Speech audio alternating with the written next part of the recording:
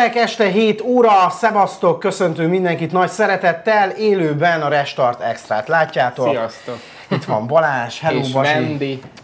Mizu. Na, én már itt a nézőknek bekonfoltam, hogy te már fogtál iPhone-t, és azóta nem mostál kezed. Ja, Az most mostan, hetet, igen. mert hogy elkezdődött a műsor. Pedig én az egész, kezdődött. egész adás alatt a kezedet akartam szagni.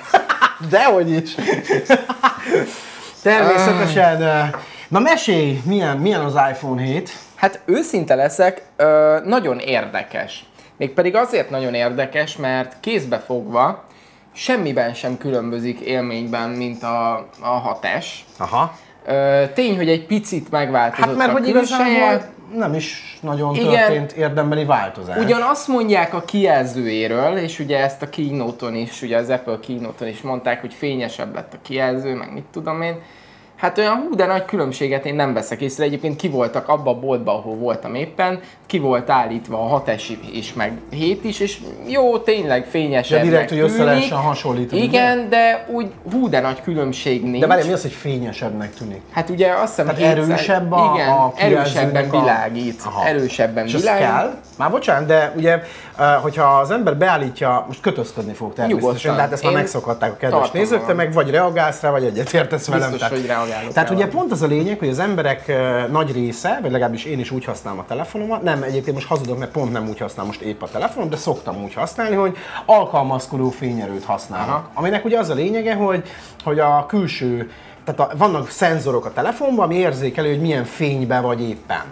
Ez azt jelenti, hogy ha nagyon erős fénybe vagy, akkor fölhúzza gyakorlatilag a képernyőnek a fényerejét is, hát azért, hogy a nagy fény mellett te lásd a kijelzőt is, mert ugye mindenkinek ismerős az, hogy amikor le van húzva a fényerő, és mondjuk tűző napsütésbe te akarod nézni a telefont, és nem látsz rajta semmit gyakorlatilag, mert mondjuk alapból tükröződik is, plusz még e, e, le van húzva a fényerő, tehát nem látod, ezért az alkalmazkodó fényerő ilyenkor automatikusan felhúzza a fényerőt. Uh-huh. Amikor viszont sötét van, tehát mit fekszel az ágyadba, és e, e, sötétben még egy-két weboldalt meg akarsz nézni, akkor ha bekapcsolod a telefonot, és annak mondjuk furra van húzva a fényereje, akkor gyakorlatilag szétvágod a szemed, tehát az iriszedet, mert hogy olyan szinten bevilágítja az egész szobát már mondjuk egy ilyen 5 szolos kijelzőjű telefon körülbelül.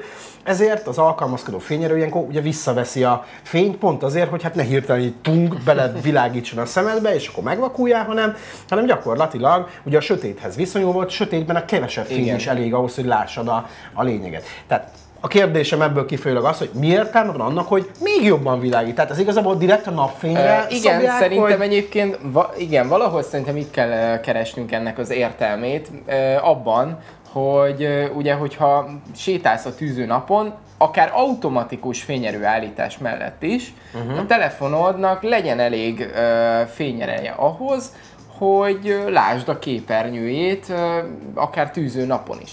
Megjegyzem egyébként, hogy például az én telefonom olyan, ö, nekem Samu S6-osom van egyébként, hogy ö, ha ki van kapcsolva az automatikus fényerőállítás, és fullon van a fényerő, tehát teljesen maxra, kocra ki van húzva, akkor is, hogyha a szenzor erős napsütést érzékel, akkor még a, a maximális fényerő fölé emeli egyébként a fényerőt. Ezt egyébként valahogy úgy csinálja, hogy inkább kicsit kifehéríti a képet, ezáltal tényleg jobban látszik, tehát ne, már a fényerőt följebb nem tudja emelni, hiszen Ah, tehát magyarul a fizikailag... kontraszt, illetve a... Igen, játszik tehát nem is a fényerővel a- játszik, hanem a, hanem a kontrasztot emeli igen, igen, hogy, igen. Hogy, Tehát, tehát ha, a még kocon, ha kocon is van a Mhm. fényerő, akkor is, hogyha érzékeli, ki van kapcsolva az automatikus fényerőállítás, akkor is, hogyha érzékeli, hogy nagyon süt a nap, akkor még egy picit rátesz egy lapáttal, hogy jobban lásd. Ez egyébként nagyon hasznos tud lenni, tényleg sokkal jobban lehet látni, amikor, amikor mondjuk nagyon süt a nap. Na, hát ez, ez egy tök jó funkció, tehát magyarul világosabb az iPhone-nak a, a fénye. Gyere egy picit bejebb, mert viszont te meg Jó. sötétebb Én a mikrofont fényben. A mikrofon néztem. is nagyon lent van, meg nagyon Igen, messze hogy- tőlem. Én szeretném, hogy kicsit közelebb hozzám vagy. Na jó, ez Jó. félreértető volt, de gyere be a fénybe, mert Remélem így azt jobb. ugye egyszerűbb megoldani, mint hogy, Jó. mint hogy a fényt állítsuk utána. Na, milyen újdonságok vannak még, amit így első Ami nagyon érdekes volt, megfogta igen. a kis lelkedet. Ö, Nem tudom, hogy így a képem jó lesz. lesz. Ö, A lényeg az, Húzod hogy lejjebb. ami, igen, Így, na, hát sokkal jobb. Hát látod magad, hát igen, azt, komponálj azt bele. néztem. Jó. Mersics úr szabadságon van, Igen, szabadságon van az operatőrünk.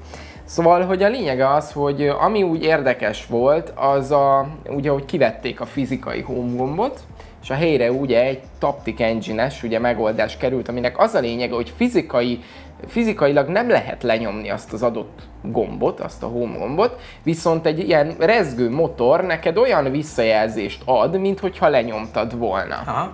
Hát ez valahogy olyasmi, mint akkor, mint az én telefonomon a, az új lenyomat leolvasott, nekem ugye itt a hátulján van a Nexusnak, és ez is gyakorlatilag egyfajta home gomb, mert például ezzel lehet így feloldani, és ez is, ez is egy fizikai gomb, igazából csak így hozzá kell érni egy ilyen érintő uh-huh szenzor van gyakorlatilag itt, ami mi, miután hozzáértél és érzékelte, hogy te rendesen hozzáértél, akkor rezzen egyet a telefon. Uh-huh. Igen, csak ez a rezgés, ez ugye abból más egy picit, a, az almás laptopoknál ezt már lehetett tapasztalni, hogy itt nem, nem olyan rezgésről van szó, mint a vibramotor, ugye aminek az a lényege, hogy nem középre van helyezve a súly, ezáltal amikor megpörgeti, akkor attól rezeg, hanem gyakorlatilag itt tényleg oldalirányba rezeg ez a motor, ez a Taptic Engine, és emiatt tényleg olyan hatása van, mint hogyha lenyomnád. Na most ez a laptopoknál tényleg nagyon jól működik, és tényleg olyan érzést ad, mint hogyha, hogyha a touchpadet tényleg le tudnád nyomni. Azonban azt kell, hogy mondjam, hogy az iPhone 7-nél Hát azért érezni lehet, hogy az nem kattanás, hanem rezgés. Tehát ott azért hát az... baj? Tehát itt a, itt a lényeg nem az, baj, hogy a maga ugye, a funkció, hogy... Nem hogy, baj, csak ugye, ugye azt mondták, hogy ugye olyan érzetet ad, mint hogyha, hogyha le tudnák Hát meg ez is nyomni. most már akkor érintésrezisztens, ugye? Tehát, hogy gyakorlatilag ugye érzékeli az erősséget is, hogy milyen erősen nyomod le. Igen. Tehát ugyanúgy van, hogy a kijelzőnél már hát ez a 3D, 3D touch, ugye, ami elég hülye hangzik, mint, mint szó összetétel, de hát most végül is ennek hívják, ami ugye a képernyő nyomásának az erősségét is érzékeli, ezáltal plusz funkciókkal ruházható fel az egyébkénti érintés, akkor pluszban most már akkor a home gombnál is van Így ilyen van. funkció, hogy ott is, ha mondjuk hosszan nyomod, akkor, akkor más-más funkciók érhetünk el. Ez abból a szempontból egyébként jó lehet, hogy ugye IP67-es cseppállóságot, vagy hát vízállóságot kapott ugye az iPhone 7, Igen. és, és talán ebből a szempontból ez jó. Én képzeld el, megnéztem egy videót, amiben összehasonlítottak két készüléket, az egyik egy iPhone 7 volt, a másik meg egy Galaxy S7. Azt én is láttam, sőt mutattuk is a nézők. Hát nem mutatni, nem mutattuk, csak beszéltem róla. Na igen, és a lényeg az, hogy... Állítólag még, még hogy jobban az a durva, az a durva, hogy igen, ahhoz képest, hogy ugye a, a 7, az iPhone 7 csak, csak IP67-et kapott, úgy tűnik, hogy az Apple egy kicsit alul húzta meg ezt a határt, tehát nagyon biztosra mentek, mert gyakorlatilag legrosszabb esetben is ugyanazt a szintet hozza gyakorlatilag, mint ugye más IP68-as Minősítés. minősítéssel ellátott eszközök, legalábbis ez jön le a videóból, és nem egy ilyen videót láttam. Szóval, ha úgy vesszük, egész hogy mondjam, becsülendő az, hogy a, az Apple nem mondta azt rá, hogy ez teljesen vízálló, viszont mindent megtettek annak érdekében, hogy, hogy ha bármi történik, akkor azért ne legyen túl nagy baj az um, eszköznek. Én azt hallottam iparági plegykákból természetesen, de hát ugye ezekről mindig csak fenntartással, Két dolog is. Az egyik az az, hogy, hogy ugye utolsó pillanatban, amikor tényleg eldöntötték, hogy kiszedik ezt a bizonyos jack csatlakozót uh-huh. a telefonból, ez nem volt egyébként még biztos, tehát hogy, hogy itt még könnyen előfordulhatott volna az, hogy mégiscsak bemarad az uh-huh. csatlakozó. Tehát a, a, az Apple fejlesztői, meg designerei között is megosztott a vélemény ezzel kapcsolatban, hogy kiszedjük, vagy ne szedjük ki. Aztán végül amellett döntöttek, hogy kiszedik. Ugyanis pont a, kijel, pont a kijelző, mi az? Pont a, a jack dugó, jack csatlakozó helyére került egy olyan szenzor, ami egyébként nyomást érzékel, mm.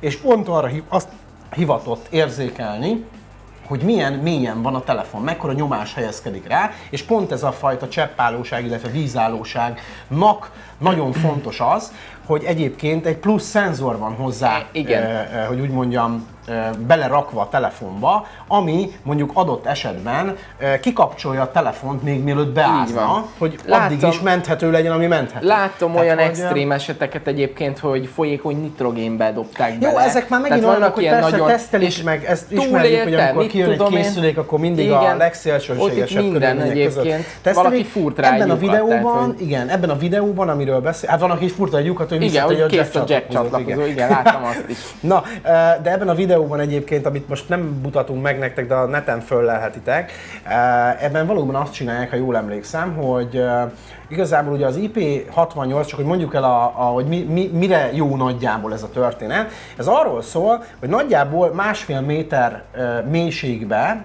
egy vízbe, ha belerakod a telefonodat, az elvileg végtelen mennyiségű ideig ott bírja. Ez az IPv68, vagy IPv, IP68 Igen. minősítés.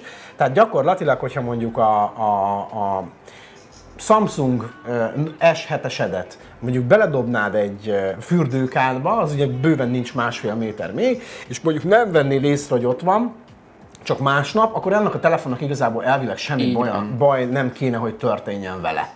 Ehhez képest egyébként... Ehhez képest ö, azt látni azért vannak vele videókon, gondok, igen, igen. tehát igazából, ö, ha így nézzük, akkor a Samsung hiába lőtte be IP68-ra ezt a minősítést, ez nem annyira reális, van. mert bizony beázik a készülék, ö, még egy fürdőkádban is, Míg az iPhone esetében, Ahol pedig- csak cseppálló ahol cseppállóságról beszélünk, ö, nem ázik be, vagy Igen. ha be is ázik, csak jóval mélyebb, nagyobb nyomás ö, esetén lesz bizonyos kis sérülés rajta, illetve hát mondjuk úgy, hogy beázik a kijelző alatt már az a rész, de még mindig működik a telefon, csak már nem egészséges természetesen ilyen módon használni. Igen, illetve Úgyhogy- egy, a jack csatlakozóra egyébként még egy olyat hallottam, vagy hát hallottam, olvastam igazából, hogy az is az oka volt annak, hogy kivették a jack csatlakozót, hogy egy kicsit a készüléknek a belsejét át kellett alakítani. Ugye át, áthelyezték az antenna csíkokat más helyre, és elvileg a kijelzőnek van egy olyan vezérlő egysége, ami interferált, eddig a telefonnak a felső részében volt elhelyezve, és valamiért interferált ö, valamilyen másik eszközzel, ezt viszont át kellett Ez volt tenni. az a bandgate, ami miatt eldobálták a hálózatot? Hát ez még annó régen, de a lényeg az, hogy ugye ezt teljesen átalakították, és elvileg az is az oka volt annak, hogy a jack csatlakozót kiszedték, hogy ezt a, ezt a képernyő vezérlő egységet, ezt át kellett helyezni alulra azért, hogy ne okozzon interferenciát, és elvileg a jack, jack csatlakozónak a helye egy nagyon ideális hely volt erre a célra, és ez is arra késztette egyébként a mérnököket, hogy kicsit átalakítsák a telefont. Szóval így, ha ebből a szemszögből nézzük, akkor egyébként lehet, hogy nem is olyan indokolatlan volt az a jack kivétel, bár én továbbra sem gondolom, hogy ezt így kellett volna feltétlen megoldani, de hát ez meg már az ő, ő dolguk. Jó, uh, hát igen, és uh, hát több dologról is lehet beszélni. Még, Azért még egy dolgot akartam a, az, az iPhone 7-ről egyébként, mielőtt folytatnád, hogy a Jet Black-et is a kezembe fogtam. Na, Ugye ezt a, fényes, a fényes feketét. Hát az a helyzet gyerekek, hogy gyönyörű, egy probléma van vele, vagyis kettő, bocsánat, tökre úgy néz ki, mint egy iPhone 5C, mintha műanyagból lenne. Tehát ez a fényes... Az üveg. Ja, ez nem, a- az műanyagból van, de az, egyébként- az műanyagból van, ugye, ilyen műanyagborítású. Esküszöm, hogy tökre úgy, úgy néz ki ez a Jet Black, mintha műanyagból lenne a hátulja, ilyen fényes műanyagból, miközben nem az, hát alumínium, ugye festett alumínium, de hát ízlések és pofonok, tehát hogy kicsit műanyag hatása van, illetve a másik, hogy a kiállított darab, ami nagyon durva, de a kiállított darabon már voltak karcok, pedig ugye ma, ma Jó, elvileg hát valahogy mondjuk a most, kiállított most darabok, azok általában le vannak harcolva, mindenki fogdossal próbálgatja. Na jó, de hát a tényleg, másikokon tényleg meg karcolódik és megkarcolja, Igen. tehát Jó, de hogy- a, a többi darabon ugye nem látsz ilyeneket, meg ha picit körömmel meghúzod, akkor utána így el tudod rajta simítgatni mondjuk És egy ezen meg nem. feketén, ezen meg húzol rajta egy csíkot, és azért nem azt mondom, hogy ott marad, de úgy, úgy hát úgy érzem, hogy Jó, hát igen, ez- érzékenyebb. ez, ez, ez, inkább nagyon gyűjtőknek sok kritika ajánlanám. ezt a, ezt Igen. a készüléket, illetve ezt a fajta uh, színű szállítást gyakorlatilag, vagy Nem mondom, hogy csúnya egyébként, Hát a csak toka megoldás. Igazából bár szerintem az is összekarcolja. Tehát, hogy ha, ha más nem ilyen szilikon megoldással, de, de félek, hogy az is azért uh, uh, hiába rásimul a készülékre, hogyha elérős behatás éri, akkor azért a szilikonon keresztül is sérül a készülék. volt egyébként ilyen, Meg, ha ilyen meg olyan tokról is. beszélünk, amiből ki kell állandóan húzogatni, az pedig Akkor alapból össze fogja karcolni. Láttam egyébként ilyen videókat is a neten, csomó van már, tehát még, még ugye most jött ki szinte, és már csomó videó van arról, hogy milyen, és például van olyan, aki így kulcsomóval próbálgatta, csak így lötyögteti rajta, mint hogy a zsebbe kulcsomó Mhm. mellett lenne, és nagyon durván karcolódik egyébként. Hát igen, videók de hát, alapján is, szóval Ezek már hát kis ékszerek ezek a ilyet találni. készülékek, tehát igazából uh, értjük, hogy persze alapesetben ezek használati eszközök. Én is úgy tekintek egy telefonra, mint egy használati eszköz. Egyébként az én készülékem is iszonyúan karcolódik, ezért vettem rá tokot. Nem szeretem a tokot, de kénytelen voltam rá venni, mert viszont nem akarom azt, Én is hogy frissen, a tokot, frissen vásárolt telefon, ami mondjuk nincs meg egy hónapja, se már tiszta karc a hátulja. A kijelző az egy más kérdés, mert ugye alapból az ember vesz rá fóliát, most kivételesen üvegfóliát vettem rá, mert ez még kevésbé karcolódik, meg ugye jobban védi a kijelzőt. Itt megint csak egy nagyobb kijelzőről beszélünk, tehát jobban kell védeni. Úgyhogy most egy kicsit ugye be van csomagolva a készülékem, de már megszoktam. Uh-huh igen. Úgyhogy aki, aki, hogy mondjam, kicsit erősebben bánik az eszközeivel, annak azért nem árt mindenképpen előről is, hátulról is bevédeni a készüléket, tehát valamiféle tokot Hát meg azért gondolj bele, De ugye... az, hogy tényleg, hogy, hogy ha meg ékszernek használjuk, tehát hogy nem teszünk rá semmit, és vigyázzunk rá, mert alapesetben persze vigyázzunk a készülékeinkre, na de az, hogy érted, egy, egy, egy, egy, egy, egy egészséges muslinca nem tud rajta leszállni, mert, mert gyakorlatilag húz rajta egy csíkot, és már összekarcolja, Igen.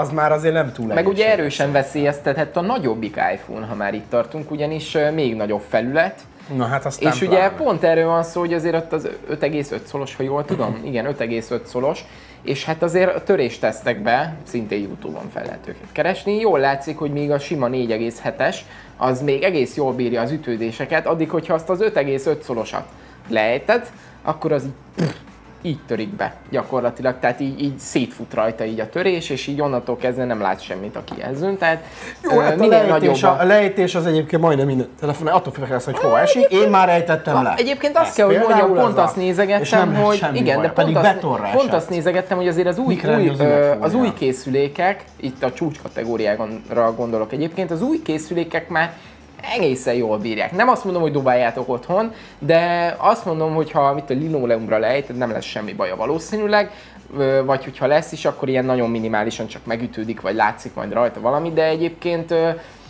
az erősebb behatások és a pontszerűtések, amik egyébként kinyírják ezeket a kijelzőket. Tehát amikor valami nagyon éles tárgy üti meg, például egy, egy kis kavicsra ejted rá, és az a kis kavics egy pontba megüti, na azt tud neki fájni. Hát igen, ez, ez, ez, egyébként az üveg, ez az edzett ez üvegnek a, a, igen, a, a hogy... hibája, ha úgy nézzük, de egyébként a sima lejtést linoleumra, meg szőnyegre azokat már egész jól bírják egyébként ezek a telefonok. Nem fogom lejteni, ne nézzetek így, direkt nem, nem. fogom ledobni azért, csak azért, na vendő, nyuszi, hogy ledobni a telefonot, mert nem fogom. Pedig itt linoleum van, tehát, hogy így, de nem, nem dobom le. Na, viszont amiről akartam még beszélni, hogy azért érted, alig jött ki, vagy hát ugye itt Magyarországon pont ma, egyébként ez is az apropója, Igen. azért beszélünk hogy mától kapható az iPhone 7, tehát ugye az előrendelések már szépen befutottak a múlt héten, és mától a szolgáltatók, illetve a viszont eladó kínálatában is már hozzá lehet jutni a készülékekhez, de ugye a múlt héten azért, illetve a héten már elég sok hír jött azzal kapcsolatban, hogy bizony már felfedezték felfedeztek hibákat a, a készülékben. Az első ilyen hír az a hiz, hizgétként el hogy, híresült igen, sziszegés hogy terhelésnél, probléma. Igen hogy terhelésnél gyakorlatilag olyan, mintha egy ventilátor zúgna Igen, a telefonban. miközben ugye nincs mozgó alkatrész a készülékben, tehát ez mind a mai napig egy ilyen kis rejtély. rejtély, hogy mi is adja ki ezt a hangot. Tehát a processzor for, vagy mi történik? Uh-huh. Tehát, hogy kis Vagy a ragasztó engedel. A ragasztó engedel a melegtől. Ad, hát igen, de annak mondjuk a hosszabb távon Főleg a vízállóságnál. Igen. Az kétségtelen. Aztán van egy másik hír is, ami, amiről többen beszámoltak, ez pedig nem más, itt a videón is lehet egyébként látni, hogy repülő üzemmódból való visszatérés után nem talál hálózatot a készülék, Szép. és újra kell indítani magát az iPhone-t, és van, akinek még utána sem talál hálózatot, és azt javasolja ugye a, a szolgáltató is, meg az Apple is elismerték a hibát természetesen, hogy hát, hogy vegyük ki a SIM kártyát és tegyük bele vissza, és Aha. akkor általában a, megjavul a történet. Na most ez azért, azért necces ugye ez a dolog egy picit, szerintem ennyi volt, mert itt látszik is egyébként, hogy nem találja ugye a jobb oldali telefon, már amennyire itt ez a retkes kamerával fölvették, látszik, de a lényeg, hogy uh, uh, hogy azért egy SIM-kártyát csak úgy kivenni a készülékből, ugye a mai készülékekből, pláne, hogy itt látszik, és hát ez igen, is tokba van, most igen. szedje le a tokot, akkor, akkor legyen nála egy tű, ilyen tű, ugye, igen, igen, mert hát ugye ezekből a manapság már csak úgy lehet kiszedni, most ezt megint nem tudom megmutatni, mert megpróbáltam Én meg tudom mutatni, mert hogy ugye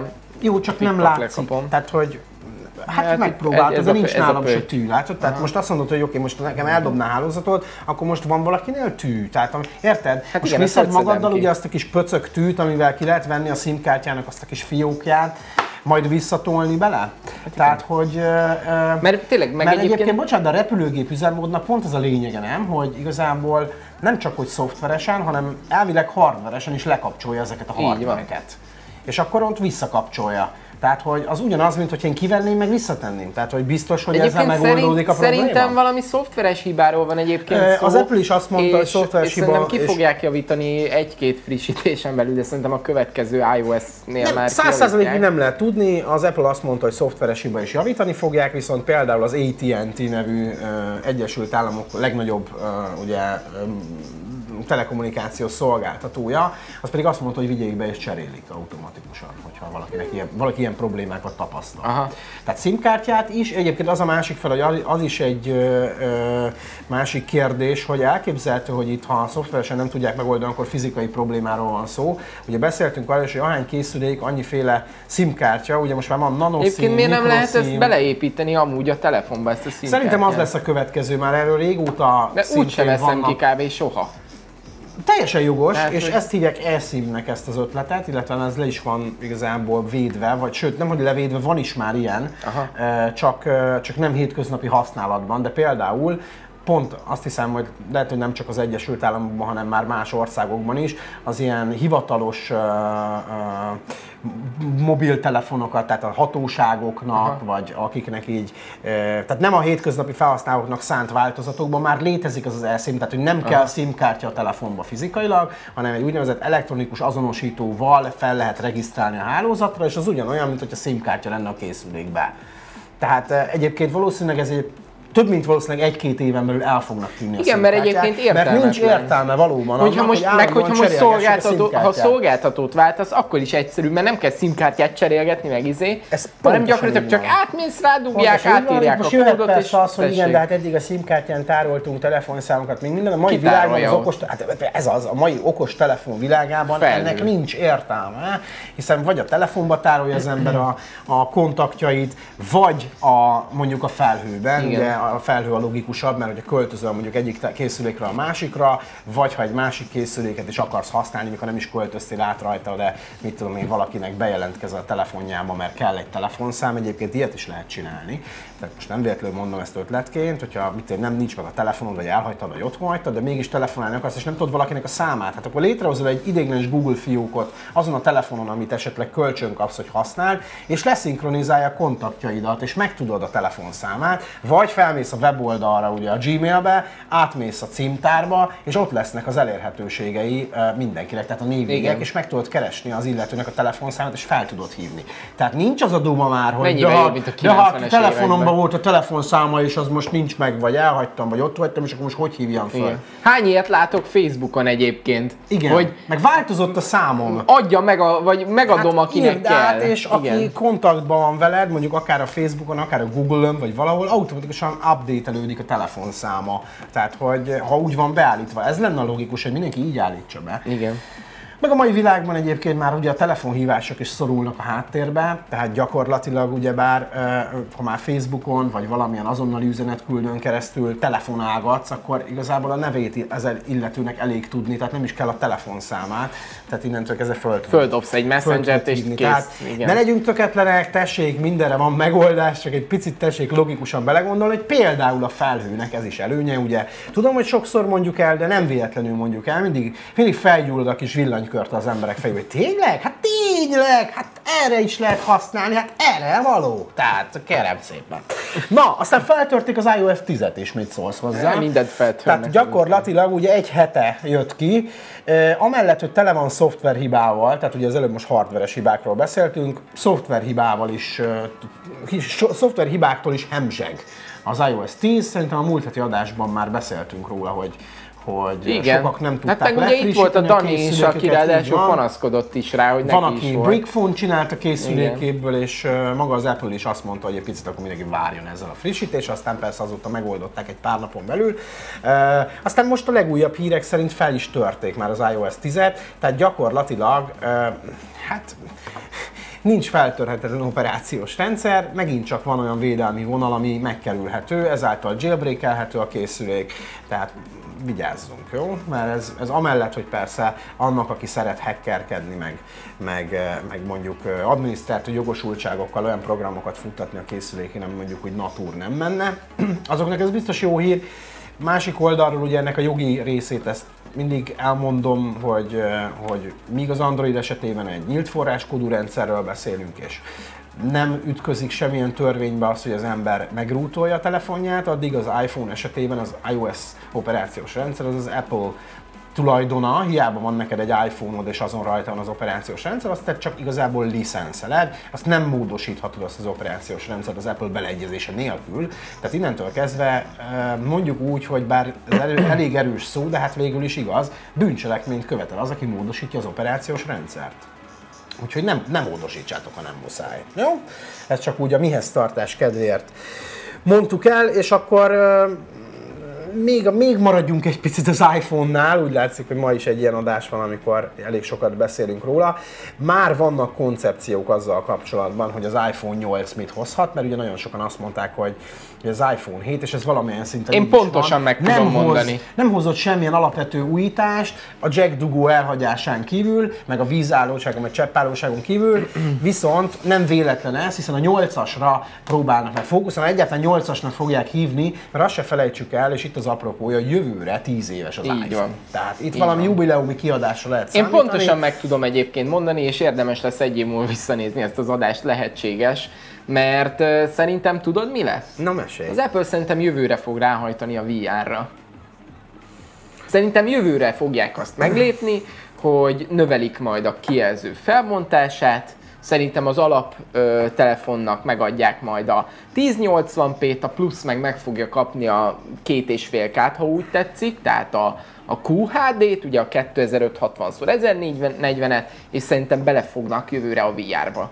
Én ezt jósolom az iPhone 8-ra, Nem, az lesz a nem nagy mondom, boom. hogy nem, sőt, igen, tehát gyakorlatilag... Szerintem ez lesz jövőre a nagy boom. Igen, a lekerekítettséget is jósolják egy csomóan, itt van is egy koncepció kép már Az a baj, ennyi, ilyen koncepcióképeket már tavaly is láttam. Nem tehát most, nem, tehát most egyelőre ugye még Ugye azért ez a egy tehát most jött ki a szélig, he- igen. hetes, tehát hogy azért még nem tudjuk, hogy mi lesz a nyolcasban, vannak találgatások. Sokan azt jósolják, hogy akár csak a Samsung például ugye felhagy a következő S, tehát az S8-as kiadásban már nem lesz olyan, ami nem, ne lekerekített vagy ívelt kijelző lenne.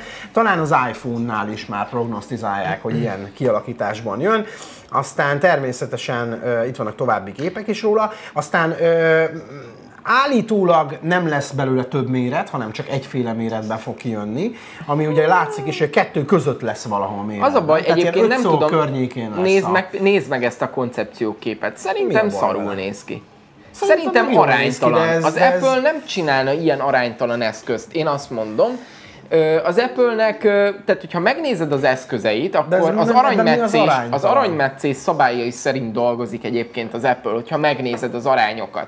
És Igen. aránytalan, mert széltől szélig van a kijelző, és fölül meg alul van két csík, és véleményem szerint az Apple soha a büdös életben Hát nem csinálna ilyen dizájnt. Csak nem él a széléig. Na de hát pont ezt mondom, hogy egész más, tehát az Apple-nek egész más design hát ötletei figyelj, vannak, én- én- és én- tudom, mert ilyen képeket már lehetett egyébként tavaly is látni, de szerintem egyébként ezek maradnak is koncepcióképek. Lehetséges, hogy ö, széltől szélig tartó kijelzőt fog csinálni az Apple, és lekerekítetted, de hogy biztos nem, hogy így fog kinézni, azt tuti.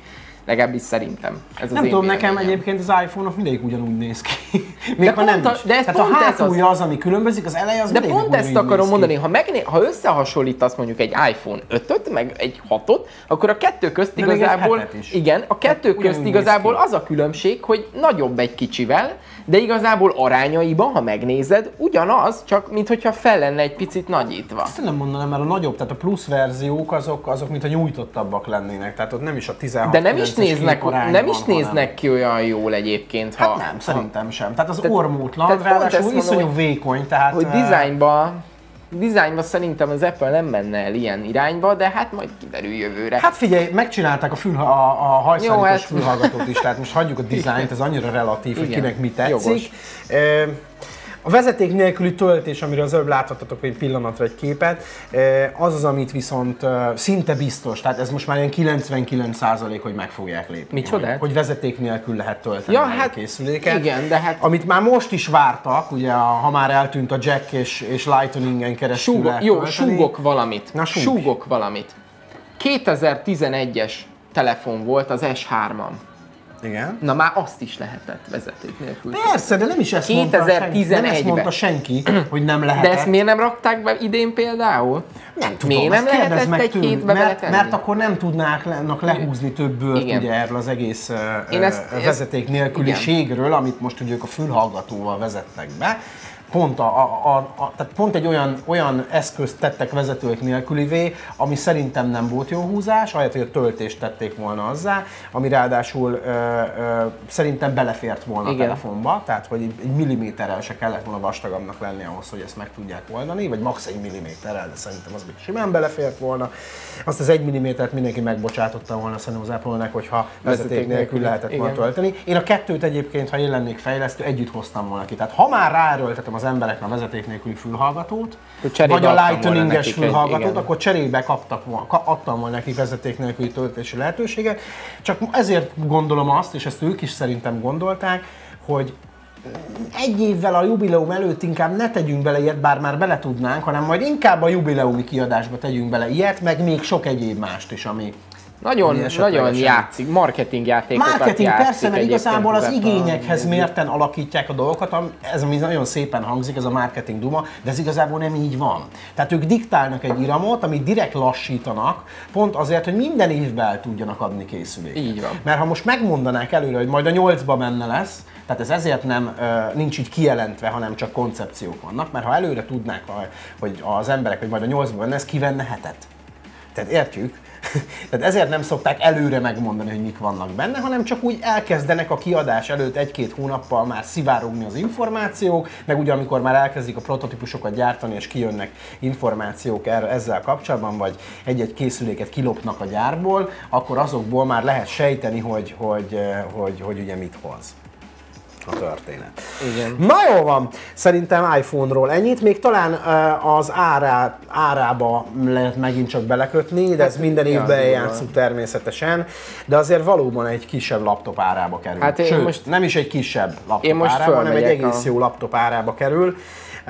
Miközben ugye az előállításának a költsége az mondhatni töredéke, tehát leg, legalsó hangon is 200%-os a legolcsóbb készülékükön a hasznuk ami ugye az, mint a, mond, a legolcsóbb, tehát az iPhone 7-es 32 gigás verziójának a, igen. a haszna az közel 200 os Azt a mindenit. Az azt jelenti, hogy ha mondjuk a nagyobbakat vesszük alapul, ott lehet, hogy 300 fölött is van ez a Azt a százalékos mindenit, igen, és most azt nézem, az egyik resellernek az oldalán Magyarországról beszélünk? Igen, ez egy a magyarországi árakról van szó. Mondhatsz nyugodtan közelítőleg Ö, árakat, jó? hát azt mondom, Meg, hogy- ha nem mondod, hogy kinél mennyire lehet Jó. kapni, egyébként valószínűleg mindenkinél nagyjából ennyi. Na, a lényeg az, hogy ennél a resellernél például a, az iPhone 7 Plus-ból a fullos modell, az már há- a 380 ezer forintot súrolja. És ez a 32 gigás? Nem, ez, ez már a fullos. Tehát ez a ez, ez, ez a legfullosabb a- legfullosabb, a 7 Plus-ból a 256 gigás. Tehát közel 400 A legolcsóbb pedig az a sima 7-esből a 32 gigás, az meg olyan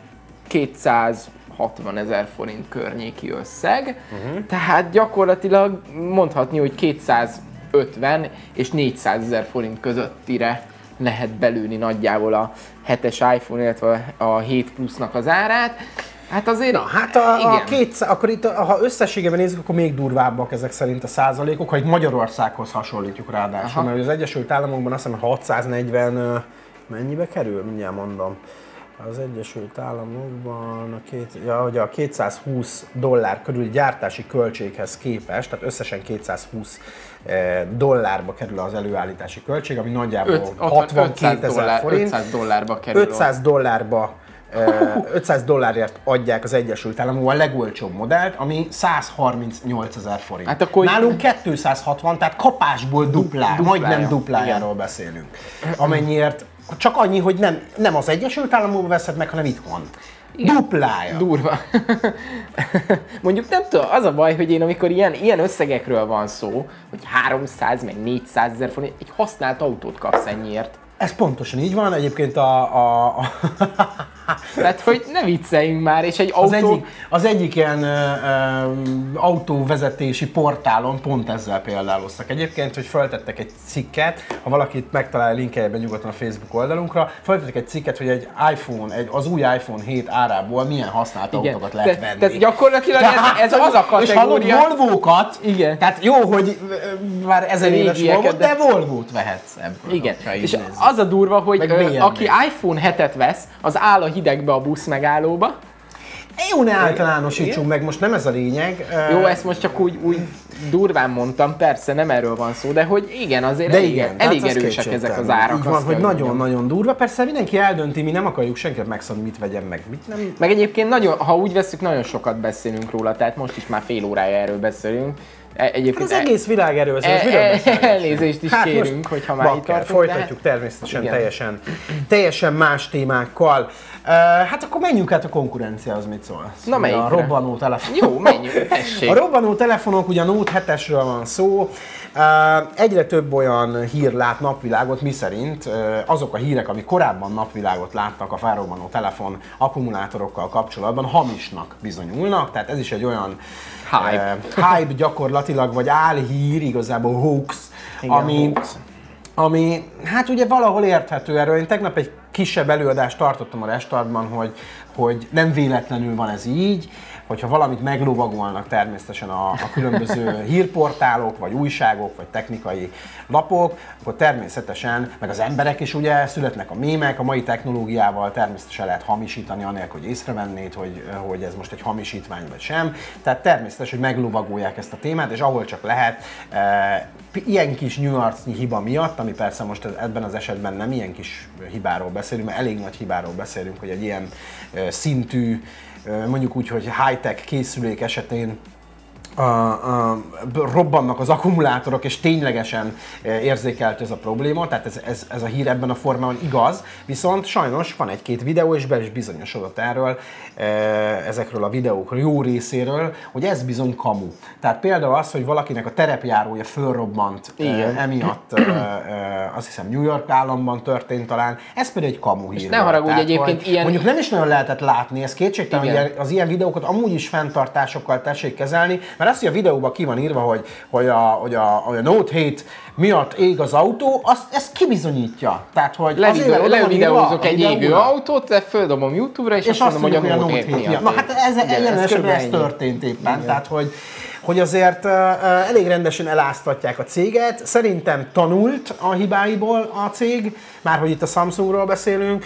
Természetesen a konkurenciának ez jó jön, mert jót röhög a markában, hogy be, hát ugye el is játszott a, Igen. a, az Apple keynote-on a, a, a bejelentő, hogy, hogy miről is van szó, tehát hogy ezek legalább nem fognak felrobbanni, hát tök vicces tényleg, mindenki követel hibákat, én azt gondolom, hogy ettől E, Oda-vissza savazzák egymást, például ugye a, a Samsung meg olyan reklámokat csinál, amiben az Apple savazza. meg az a Microsoft Igen, is, meg az Apple is olyan tehát reklám, tehát persze. egymást, egymást csinálják, tehát egymást savazzák, ha így nézzük, és én úgy gondolom, hogy a, Jó, csak az az átlag emberek, igen, csak pont tehát ezt ne akarom mondani, hogy túl komolyan veszik az emberek ezt. Mert ezek gyakorlatilag egymás közötti csipkelődései a cégnek, egymás felé, és ezek gyakorlatilag vehetjük poénnak ezeket a csipkelődéseket, és az embereknek túl komolyan veszik, és azt mondják, hogy ah, hát ez fölrobban, akkor nem veszek ilyet.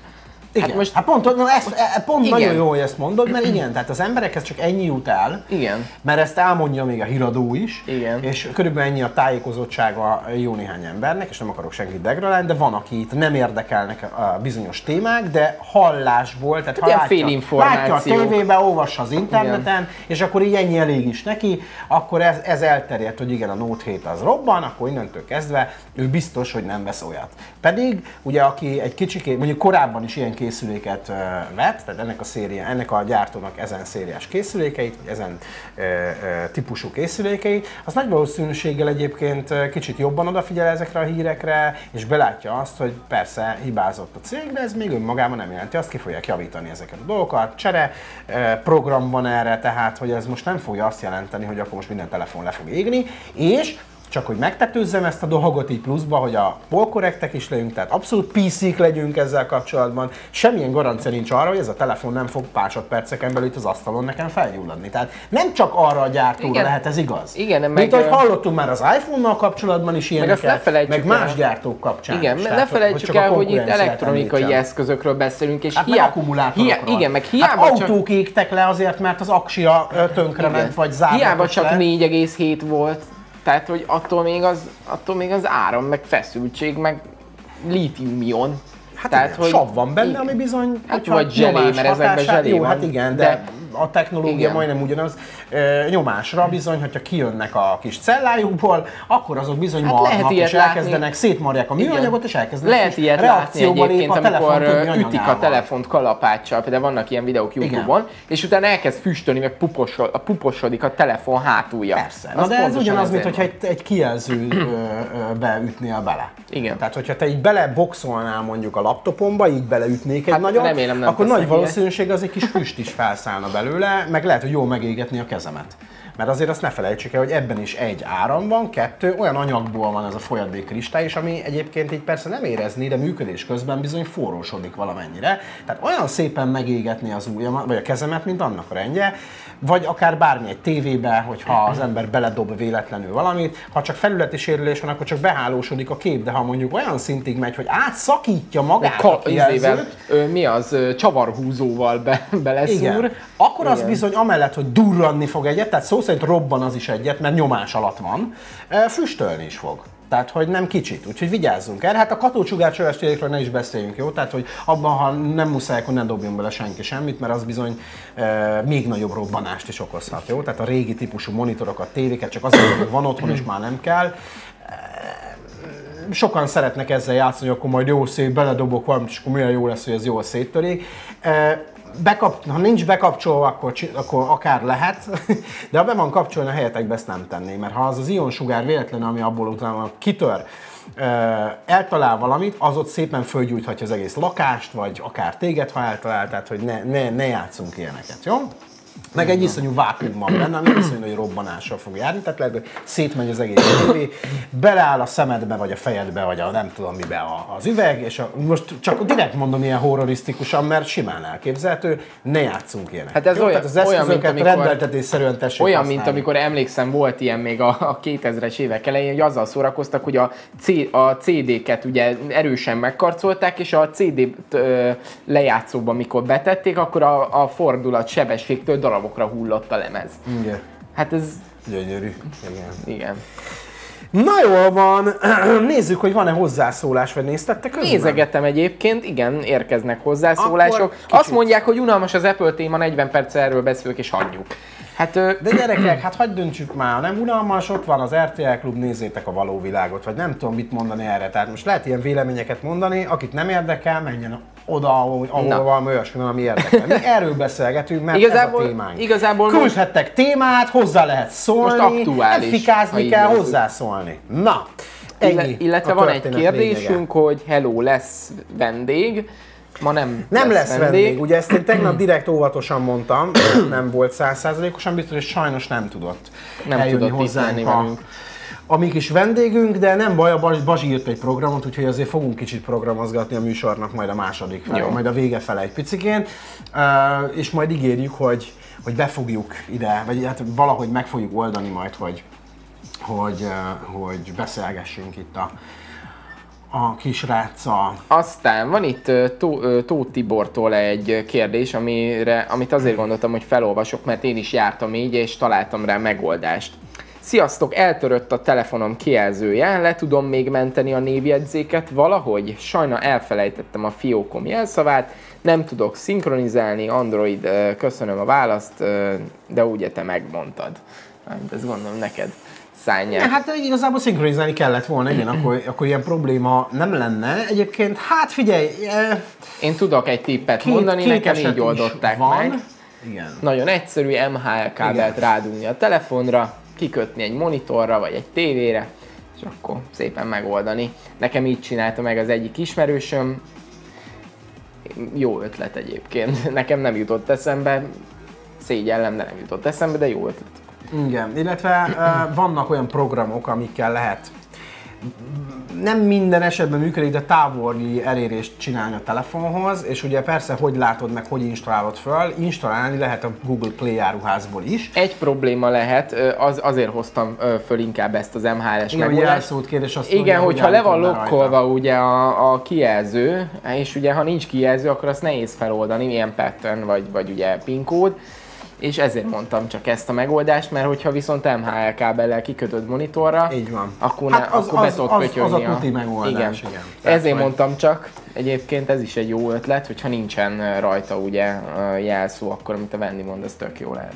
Igen, de hát- meg ha mázlid van, azért, azért nézd meg a biztonság kedvére, hogy nincs-e véletlenül szinkronizálva. Tök Mert a legtöbb esetben, vagy nem tudom, nekem azért lehet, hogy mondjuk a natív Android miatt nálam ez alapbeállítás, hogy én a, a, a, a kontaktjaim automatikusan szinkronizálódnak. Valahol nekem is. Tehát ha bemész a Gmailedbe, és ott a levelek nevű kis fülecskét átváltott címtár fülecskére, akkor elvileg ott kéne lenni az összes kontaktodnak. A telefonkönyvedben lévő kontaktoknak, illetve az e-mail címeknek is, tehát akikkel te már valaha e-maileztél, azoknak a kontaktjai is ott kéne, hogy legyenek. Ott megtalálod a telefonszámokat is, és hogyha megy egy másik telefonba, ha tényleg ott van, másik telefonba bejelentkezel, szinkronizálod, akkor ezeket mind le fogja szinkronizálni az új telefonra is. Úgyhogy azért ezt csekkold le, mert lehet. Nagyon sok gyártónál ez egy alapértelmezett beállítás, hogyha egy Google fiókot Google fiókkal aktiválsz egy androidos készüléket, akkor alapesetben szinkronizálja a névjegyeket. Oda-vissza, illetve nem csak a névjegyeket, hanem az adatokat is, mindent erre általában rákérdez, és ott nem véletlenül, ez persze ki lehet már, már az installáláskor, vagy a, a setupoláskor, ugye a beállításkor kapcsolgatni, nem célszerű, tehát nem véletlen az, hogy ezek mind be vannak pipálva, és persze magára vessen az, aki nem engedi a Google-t szinkronizálni, mert ilyen esetekben például akkor sajnos ez van, hogy utána aztán lehet sírni a kontaktok miatt. Így van. Jó, a Laci érkezett meg ide hozzánk Skype-on. Szevasz, Laci! Sziasztok! Ö, Balázstól kérdezném ezt a megoldást, amit mondott, ez az M3 kábles, mert hogyha támogatja a telefon, hogy ugye ott is kéri azt a képernyőzárat, nem? De hogyha teljesen eltölt a kijelző, akkor hogy ütöd be? Hát úgy, hogy rákötsz egy billentyűzetet vagy egy egeret. Is pluszba. Ja, értem, igen. tehát még, még ugye vannak ilyen osztók is, akkor Nem rá- kell osztó, hát egy Hát- bluetoothos, ha van bluetooth Igen, csak már azt mondjuk össze kell párosítani, és akkor ott már megint kódokat kell beírni, azt nem tudod beírni, hogyha nincsen kijelző, tehát egyébként tényleg jogos a kérdés. Jó, de a vezetékes még mindig működhet. Hát igen, csak nem tudod beledugni az MHL-el együtt, ugye? Tehát van olyan ugye persze, amit beszélünk, hogy ugye eltörik a maga a LCD kijelző, az érintőpanel működik, akkor ugye nincsen probléma, mert ugye be tudod vinni újra. Igen. Hogyha az érintőpanel része is oda van, akkor hát Az az így járt kategória, tényleg akkor innentől kezdve, mert ha nem működik az ér, tehát az, hogy be van hán pókhálósodva és nehezen látszik a kijelző, vagy, vagy egyáltalán nem látszik, az egy dolog, de ha ettől függetlenül még lehet, hogy működik az érintő része valóban. Uh-huh. Ha az sem működik, vagy mellé húz, vagy valami, akkor akkor viszont tényleg Egyébként meg- meg- látni még csak lehet. Egyébként meg mondok valamit, Na. nagyon egyszerű. Fogod, teljesen kiveszed az aksit, ha nem lehet kivenni, akkor kikapcsolod a telefon, vissz, visszakapcsolod, rádugsz egy billentyűzetet. USB, MHL, vagy ö, mi az OTG-vel. Tudod a PIN kódot, beütöd a PIN kódot láthatlanba, meg, meg tudod csinálni láthatlanba, majd miután beütötted a PIN kódot, kihúzod és bedugod az MHL kábelt. És fel van oldva a kijelző, Igen, és... de utána hogy nyúlsz hozzá, ha nem működik? Attól még az odáig nem jutott. Tehát, hogy de már előrébb vagy egy fokkal. hát igen, beléptél a telefonba, de... Ki, kibehúzogatással lehet De játszani. attól, még, de attól még, ha nem működik az érintő kijelző, akkor nem tudsz mit csinálni. Az lehet, de az, akkor az lehet, hogy kibehúzogatásos téma, csak igen, ez egy hosszú. ez egy, ez egy pepecselős dolog, hogyha, hogyha ilyen hiba van, igen. Ezt jól látod. A, amúgy meg amit ugye mondtad itt a szinkronizálás, neki is szinkronizál, csak ugye ő azt hitt, hogy nem tudja a, a gamer fiók jelszavát, gondolom, Nem áll, nem áll. Hát akkor bármit is hogy akarunk csinálni, ha nem tudjuk a Gmail fiók jelszavát. Hát egy új telefont akarunk majd venni. És azt azon be akarjuk állítani mondjuk a Gmail fiókot, akkor csinálunk egy újat, vagy mi kérje lesz? jelszó visszaállítást Egyébként egy meg az a másik, fele. Igen, igen, én is ezt írtam neki, hogy ilyen jelszó visszaállítással próbálkoznék. Így van. Elfelejtett jelszó, és akkor vagy megy a mobilra egy kód, va, ha, ugye ha meg van csinálva a két lépcsős azonosítás, vagy egy biztonsági e-mail címre elküld egy, egy szintén ö, ö, egy linket, amivel lehet egy másik jelszót megadni. Hát van egy pár megoldás, amivel ez az elfelejtettük a jelszót, ettől én a falra mászok. Hát. Egyébként. Tehát ne felejtsük már a jelszót. És ö, ö, ö, ilyen random adatokat írtak be a biztonsági rész, rész az ilyen másodlagos e-mail címnek, meg ugye a biztonsági Aha. kérdéshez is, és, és nem tudtuk visszaszeredni a jelszót, Jó, hát- mert teljesen random dolgokkal lehet Jó, hát Hát ez így, ilyen Jó. ASD-GFR, tudod így, csak így Jó, amikor valaki ilyet csinál, az magára vessen. Hát azért igen. nem véletlenül vannak ezek a biztonsági kérdések, még hogyha nem is figyelsz nagyon oda, azért érdemes valamit megadni, ami úgy, amire mondjuk tudod a választ, mit, mi volt az első kutyád neve, mit a lecsó. Tehát, hogy azért valamit érdemes megadni, mert akkor lehet, hogy beugrik. Tehát aki azt írja be, hogy VASD, akkor és nem jegyzi meg, akkor most azzal De nem is kell Már- jelszóhint már a, a, a Google-be, azt hiszem, ott nem kell. A telefonszámmal együtt ő Persze, de most, most nem arra mondtam, csak hogy arra mondtam, hogy ugye aki már annyira, annyira letolja az egészet, hogy nem csak a jelszót nem jegyzi meg, hanem még ráadásul a még 600 millió egyéb dolgot is letolja magasról, akkor az meg már magára vessen. Tehát, persze. hogy most Hát de alapból szerintem, bocsánat, de létrehoz az ember egy e-mail címet, hát ahhoz meg kell adni egy jelszót. De jegyezzük meg, az kész. Hát most milyen, tehát Igen. milyen bonyolult megjegyezni egy jelszón? és ezt nem gonoszságból mondtam. De tényleg. De most Tehát ugye az ember őszintén. úgy szokta használni a jelszavait, elég sokszor. Én például elég sokszor ütögetem be a jelszavaimat, elég sok helyre, tehát hogy... Képzeljétek el, most elvágtam az ujjamat, és nem tudtam új lenyomat olvasózni a telefonomon, mert De ugye... csak egy újra van beállítva? Nem, nem, a másik kezemre is be van, csak azzal bénán tudok, tehát az, a, Ja. Az, az nem olyan ügyes az a kezem, és emiatt csomószor volt el, hogy csak inkább jelszót ütögettem, például múlt héten. Aztán okay. lehet, hogy itt a nézők megdobálnának majd amit mondok, mert ugye nem akartak iPhone-ról beszélni, de itt Szabival beszélgetni, és nem tudom, mi a véleményetek, hogy oké, okay, hogy ennyibe kerül a készülék, de egy év garanciát adnak. Tehát az milyen már? Hát egy év A legtöbb- garancia, a meg legtöbb egy év gyár- jótállás általában így szól. Á, szoftveres, igen. Tehát az Igen. egyik ez egy hardveres, a másik pedig még plusz egy év szoftveres garanciát szoktak ráadni, ami egyébként nem véletlen, tehát a szoftveres garancia ez egy kicsikét egyébként olyan, hogy úgy mondjam átverős történet, mert ugye ez gyakorlatilag azt jelenti, hogy két évig fogják szupportálni, és ez majdnem, hogy így is szokott általában lenni egy készülékkel. Tehát, hogy két évig biztonsági frissítések, STB, STB, egyébként szoftveresen mi más romolhat el egy készülékben.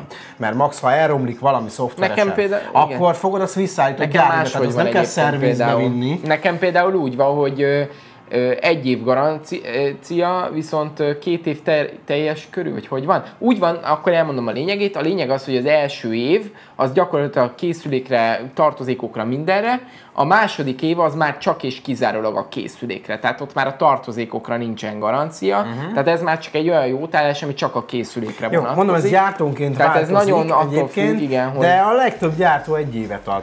Nagyon ritka, hogy kettőt adnak. Tehát van, amelyik kettőt ad. És Igen, általában az- érdekes módon pont a, a kínai telefon, vagy a Kínából származó, vagy ilyen kevésbé kevésbé márkás, vagy, vagy közepesen márkás készülékek esetén szokott két év lenni. Pont azért gondolom én, hogy a közepesen márkást válassza az ember akkor is, hogy azért az, mert az legalább két, Elég év két évig garanciális, igen. Tehát, de érdekes módon a nagyobb gyártók, tehát a népszerűbb gyártók, azok szinte kivétel nélkül egy év garanciát Mondom, furcsa, mert az enyémre- És az iPhone is, így Igen. van. Tehát az apple Az enyémre meg két év van, van, legalábbis az iPhone-okra, mert azt hiszem, hogy a, a, a MacBookokra ott több van. Meg, tehát, Meg hogy más lehet ilyen plusz garanciákat Meg változtatni. Például ott van, hogyha fölmész az Apple-nek az oldalára, meg egyébként a magyar resellerek oldalán is így van, akkor plusz vehetsz, mit tudom én, x ezer forintért, mit tudom én, azt mondom neked, hogy 5 és 50 ezer forint közötti értékben vásárolhatsz, mit tudom én, plusz egy év garanciát. Figyelj, ha úgyis vagy- bankot kell rabolnod hozzá, hogy meg tud venni, mert Igen. ha még venni akarsz egy fülhallgatót hozzá, még venni akarsz hozzá egy eh, plusz garanciát, akkor úgyse úszod meg már, fél már millió fél alatt. milliónál járunk, igen. Tehát, hogy Igen, igen, azért mondom, hogy ugye ez, ez elég drága, és én azért nálam ezt csapja ki a biztosítékot, hogy ez tényleg csak ilyen egy év teljes körű garancia van ugye a készülékre, utána meg már ugye a szoftveres. Igaz, az én telefonomnál is így van, bár én 30 ezer forintért vettem az én telefonomat, és azt csináltam, amit ugye Balázs mondott, hogy felajánlotta a bolt, hogy náluk lehetett egy egyszerű összegért venni plusz egy év garanciát, bár ez nem tudom, hogy ezek mennyire ö, jók, ugye Ez bolti garancia. Tényleg vállalják, vagy csak. Hát vállal, figyelj, hát az, az, ha ők vállalnak rá garanciát, tehát kiállítanak egy garancia leveled gyakorlatilag, akkor az, az, az onnantól kezdve jogilag működnie kell. Tehát mi az, hogy mit vállalnak? Hát most le, ke- el kell olvasni, hogy mit vállalnak ebbe a garanciába. Egyébként a meg a biztosító, tehát hogy le, be lehet, tehát ha a szolgáltatótól veszed például a telefont, akkor meg be lehet biztosítani. Ami szinte egy, egyfajta garancia egyébként, Igen, ott sőt még annál több is. van általában. Ott még annál egy Igen. picit több is, mert az ilyen lopásra, meg ilyenekre is be van törésre is. biztosítva, meg törésre. Tehát Tehát, tényleg igen, olyan, is- olyan okból kifolyólag, olyan- amikor te hibázol, tehát lejted, beázik, még arra is fizet úgymond a biztosító, ergo eh, attól függ persze, hogy mekkora összeget és mire, eh, Várja, milyen pont ezt körű akarom biztosításról beszélünk, mert mondjuk a legnagyobb opcióban kompletten kicserélik várja, neked, pont mint ezt olyan 10, akarom 10 mondani. vagy 20 százalék önrészsel a telefon. Hogy pont ezt akartam mondani, hogy egyik ismerősömnek ilyen ö, szolgáltatói plusz garanciája van, havi pár száz forintot fizet, uh-huh. tehát még csak nem is olyan hú de nagy Egyébként összeget. nagyjából ilyen ezres körül már Igen, tehát ilyen, garancia. és gyakorlatilag olyan, olyan garanciája van, hogy ö, véletlen lejtette biciklizés közben a telóját, átment rajta, bevitte, és úgy mondták neki, hogy akkor abban az értéktartományban, amennyibe ez a készülék került, abban az értéktartományban, tessék, itt van öt készülék, válasz. Na, ezért mondom, hogy és teljes körül, és tényleg havi egy ezres. Oké, okay, nem kevés, de ha belegondolsz, ha valaki mondjuk sokat biciklizik és használja közben a mobilt, neki megérheti akár. Igen. Nem gondolnám, hogy ehhez 1000 forint sok lenne. Hát igen, meg hogyha egy évre kiszámol, az is 12 ezer forint, és hogyha van, mit tudom én, egy... egy Most ne a trükköket mondjad már meg, hogy mondjuk egy év múlva Nem. szana szép. Én töri a azt és akkor akar- vesz egy másikat. Nem, én azt akartam mondani, hogy Mert jobban, hogy egyébként jobban igen. megéri bebiztosítani, mint hogy új, új telefont kell azért venned ö, 200 ezer forintért, mert hogy összetörted.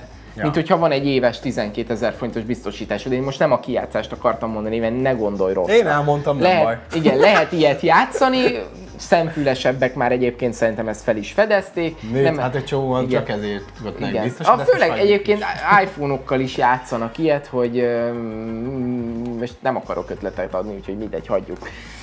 Nem adok ötletet. Mindegy, jó ötlet a biztosítás, ez a lényeg. Tehát egy kicsit úgy megnyugtatja az embert, hogy nem kell, hogy mondjam, úgymond kesztyűs kézzel bánni a feltétlenül a telefonnal, hanem tényleg használati eszközként.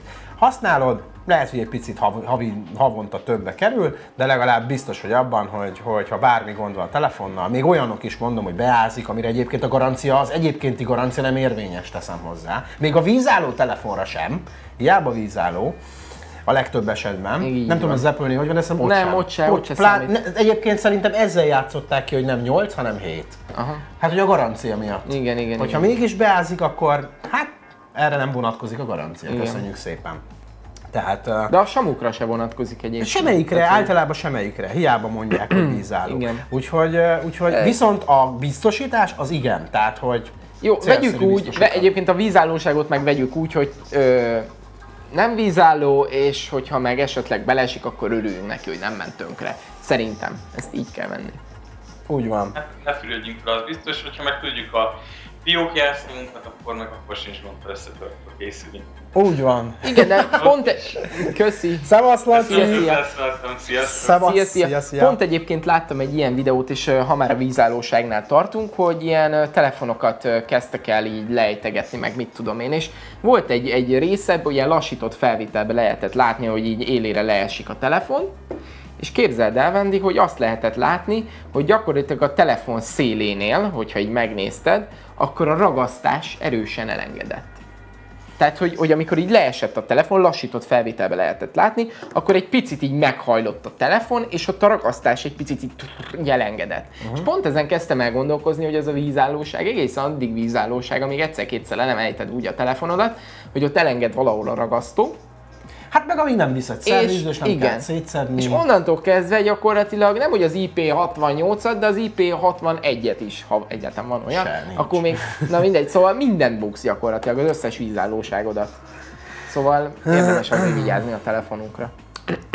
Krisztián írja nekünk, sziasztok, meg tudnátok-e nekem mondani, hogy lesz-e Android 6 frissítés Samu J5-re? Köszi a választ, jó a műsor, nektek jó hétvégét köszönjük, de nem tudjuk megmondani. Hát én annyit tudok, én annyit J5-re tudok mondani, hogy a J5 az egy közép-alsó kategóriás Szerintem nem lesz akkor. készülék. Ö, ha jól tudom, akkor 5 ös Androiddal érkezett, de valószínűleg nem, tehát hogy, hogy azért azt érezzük, hogy a gyártóknak a többsége a csúcs telefonjaikat frissíti az esetek 90%-ába nem lehetett le, hogy, hogy esetleg megkapja, de maradjunk annyiba, hogy ezt, ezt kezeljük fenntartásokkal. Igen, nincsenek erre vonatkozó infók igazából, sőt már igazából ugye mivel hetes a sláger, már aki megkapta a hat, tehát aki, akinek, amelyik készülékekre ígérték, hogy megkapják a hatot, azok általában megkapták. Így van. Ami nem kapta meg, az nem is valószínű, hogy meg fogja kapni. Magyarul, ha eddig nem kaptad meg a hatot, akkor szerintem nem fogod. Az, hogy a hetet megkapod-e, az megint egy jó kérdés, mert, mert Voltak olyan telefonok, hogy vannak az olyan ötöt nem gyártók, kapták igen, meg, de a hatot de a igen. hatot meg igen. Úgyhogy még abban reménykedhetsz, de valóban, ahogy a Balázs is mondta, itt sajnos ez leginkább a felső, középfelső és felső kategóriás telefonokra igaz, sajnos a közepes vagy alsó középkategóriásokra nem nagyon jellemző. Tehát azok, azok, azok azt az Androidot támogatják, amivel azt kihozták, nem fogja a gyártó ezt megcsinálni. Természetesen ilyen-olyan főzött Meg- megoldása igen. biztos, hogy van rá, Meg már abba szerintem is. lehet, hogy most is. Meg abba is gondoljunk bele, hogy ha megnézzük Androidnál, pont itt a különféle gyártókkal kapcsolatosan, még a csúcskategóriás telefonoknál is néha problémát jelentenek ezek a frissítések, Hát hogy ki persze. mikor kapja meg, meg szolgáltatónál mikor jelenik meg az adott frissítés, tehát már a csúcs telefonoknál is. Sőt, néha sokszor- referencia tehát Hát már nekem, sokszor nekem most jött ki múlt héten a vagy igen, múlt héten jött ki a, a 7.0-es hivatalosan a Nexus 5-re, 5X-re, bocsánat. Ja. Tehát, hogy múlt héten. Igaz, hogy beta teszterként már föl lehetett tenni nagyon régen, és lehetett tesztelni, meg a, ki f- föl volt iratkozva a beta ö, tesztre, annak kijött már a végleges is előbb, de én direkt nem akartam Aha. feliratkozni, megvártam, mikor adják ki otába, tehát ugye a, a rendes Over- frissítési, over air, igen. így van, ö, ö, rendes frissítési ciklusba, és pont a múlt héten. Mert egyébként a weben már fönn volt, tehát kábellel fölrakhattam volna, beta verzióba fölrakhattam volna, maradjunk a gyári verziónál, legalábbis én mostanában ennek a híve vagyok, régen én is nagyon sokat hackelgettem, meg, meg, meg főzögettem a telefonomra romokat, aztán meguntam a játékomat, úgyhogy mert mindig csak a gond volt velük, nem mintha a gyárival nem lenne, ott is szoktak, sőt most, pont most jött le azt hiszem az android.hu-n egy hír, hogy az 5X-ekkel van, akinek vannak problémája a Nougat frissítés óta. Én nem találkoztam vele, le is kopogom, de, de hát nincs tökéletes oprendszer. De akkor neked már hét van, ugye? Már hét van rajta, igen, és ha minden Én igaz, akkor jövő hónapban a hét egy lesz. Mert hogy október 4-én, amikor érkeznek ugye az új uh, uh, Google-ös készülékek, már Pixel néven, ugye, tehát nem Nexus néven, akkor a 7.1-es Androiddal fognak már érkezni, és ezáltal a 7.1-es Androidot is elérhetővé fogja tenni a, a Google, és nagy valószínűséggel uh, ugye a Nexus készülékekre is elérhetővé teszik ezáltal rögtön. Jó, megy az időnk, úgyhogy még egy-két hozzászólásra reagáljunk, aztán, aztán meg még egy, egy hírt még mindenképpen meg szeretnélek örvendeztetni vele benneteket, és utána programozzunk picit, jó? Jó, Ha már oké. így Ez vicces, ez a- a kis programot. Igen, hozott Roland egy, egy mémet, Hm. hmm. szeretjük a mémeket, csak ugye az is egy olyan dolog, hogy adá... Na jó, megmutatjuk. Na, a lényeg a- Kivételt igen. képezünk és megmutatjuk, mert vicces. Már, már lehet klónokat kapni. Persze, hát az- hogy- az És az, az már 7S. Tehát, hogy Persze, hát, hogy... ez, igen, már Kína, előrébb Kínában vannak. előrébb. Meanwhile.